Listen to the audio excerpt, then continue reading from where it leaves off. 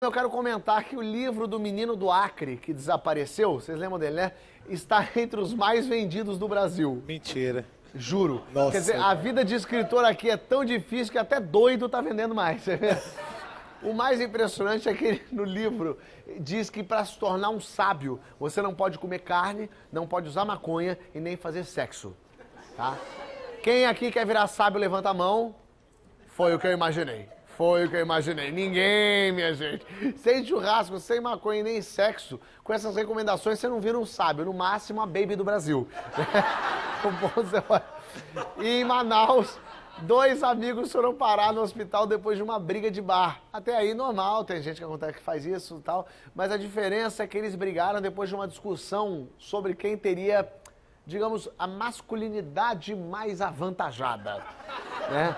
Sério, foi assim, o meu é maior, ah, não, o meu é que é, não, o meu é que é, e o outro cortou com um caco de vidro a pessoa. Pra vocês verem o perigo que é a gente ir pra um bar sem uma régua, né? Quer dizer que isso resolvia. Eu não sei se vocês viram, mas um grupo de hackers invadiu os servidores, os computadores da HBO e vazou várias informações, incluindo roteiros de Game of Thrones e até o telefone da atriz que faz a Daenerys, essa aqui, ó. Pois é, você viu que absurdo isso, Paulo Vieira? Só um minuto. Oi, Danieres, tudo bom? Como é que. Hello, hello, hello, hello. É, desligou na minha cara. Pa Paulo. Mas você vê como são as coisas, né? Nos Estados Unidos, lá os executivos ficaram desesperados porque os hackers roubaram os roteiros deles, né?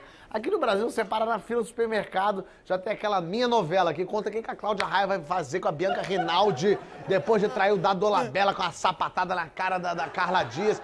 Né? E a gente ainda assiste, não tem importância nenhuma. E depois de fazer a reforma trabalhista e aumentar os impostos sobre a gasolina, o governo está estudando aumentar o imposto de renda. Oh, que legal, coisa boa, ele né? só traz notícia boa pra gente, né? Parece até que o Temer quer bater o recorde negativo, né? Ele pensou assim, como assim? Aumentei a gasolina e ainda tenho 2% de aprovação? Não, anota aí uma medida provisória de exame de próstata obrigatório. Eu quero cair pra zero. Mas falando sério, achei uma atitude muito justa, né? Ele toma o dinheiro de quem tem para os desempregados não ficarem com inveja. Né? Agora pronto, agora ninguém mais tem dinheiro, tá todo mundo igual, olha que coisa bonita.